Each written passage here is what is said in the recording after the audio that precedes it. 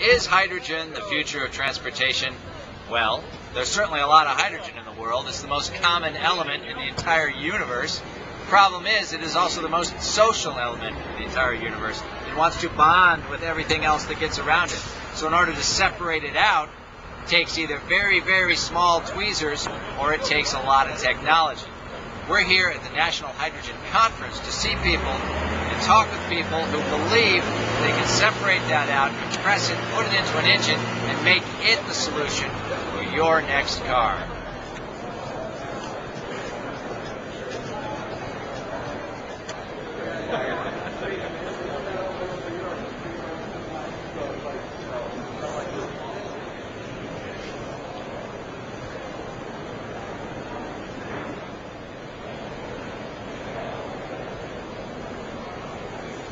Okay. Bob Boyd with Linde.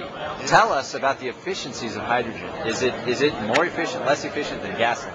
The exciting thing about hydrogen, besides zero emissions and the fact that we're able to use it in electric vehicles, it gives us really good range out of electric vehicle. Besides all that, zero emissions.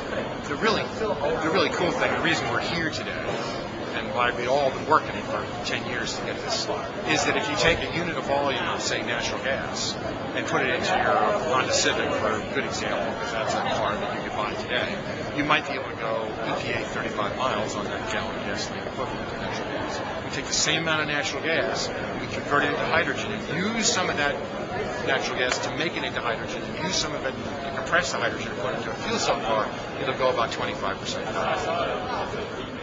Okay, Ed Heydorn, uh, commercial development with Air Products. Tell us about the efficiencies of making hydrogen.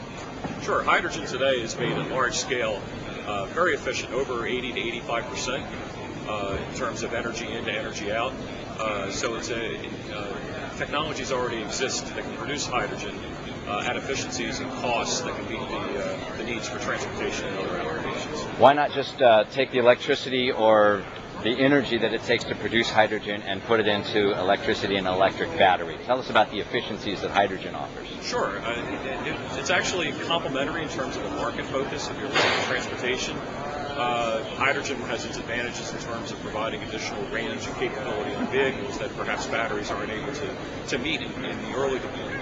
In terms of efficiencies, again, it becomes a choice of what's the right use of the different feedstocks that are available, whether renewable or conventional feedstocks.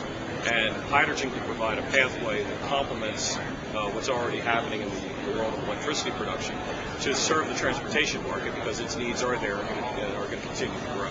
So hydrogen doesn't necessarily have to supplant electricity. It can go hand in hand with uh, electricity in uh, battery-powered electric vehicles, for instance. Exactly. It, it, it's, it's a way to look at uh, look at the, the entire production system from uh, just the best use of all the available fuels, especially limited renewable resources that are available today. Are there any drawbacks at all to hydrogen? Yeah, there is. The biggest drawback is density. It's a light gas. How do you get it into a small space? When we look at other fuels, like say diesel fuel, diesel fuel has probably the does. It has the highest energy per liter or per gallon. So you're trying to package it as a vehicle designer. You want to package as much room for golf clubs and people and storage and the kids as you can, and as little space for fuel. Um, so with hydrogen, that's the biggest problem is finding a place to put it on the car. Even if we make it into a liquid, it's still four, five, six times less dense than gasoline. So that's really the biggest challenge. And making it into a liquid cost takes still more energy to create it to make it into a liquid form. It does. It does. It does. There are some trade-offs.